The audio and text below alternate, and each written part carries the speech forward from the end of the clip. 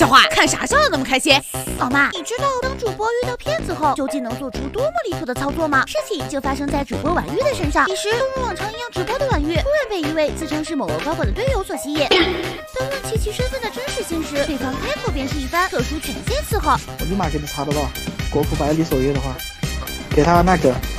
给他号那个设置一下。眼看队友如此厉害，婉玉也是二话不说，连忙与之周旋了起来。却不想对方为了获取信任，还不忘频频爆出猛料，不仅提前公布了吃鸡的后续更新内容，还谈起了几位主播的签约情况，其中就不乏不求人和牧童等多位大佬。那不求人是不是也是你签的？不求人，